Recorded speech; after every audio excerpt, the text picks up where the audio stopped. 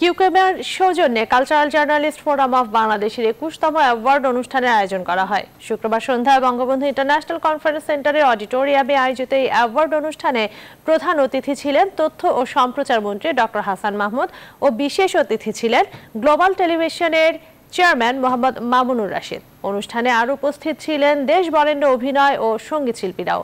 তথ্যমন্ত্রী তার বক্তব্যে জানান, নতুন প্রজন্মকে পশ্চাৎ দেশীয় সংস্কৃতি থেকে সরিয়ে এনে নিজ দেশের সংস্কৃতির দিকে ধাবিত করতে এমন পুরস্কার বিতরণ অনুষ্ঠান আরও প্রয়োজন।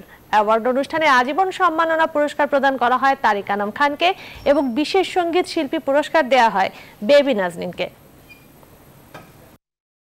রকমারের ডিসকাউন্টের উপরে শুধুমাত্র নগদ দিয়ে পেমেন্ট করলেই পাবেন আরও একুশ পার্সেন্ট ক্যাশব্যাক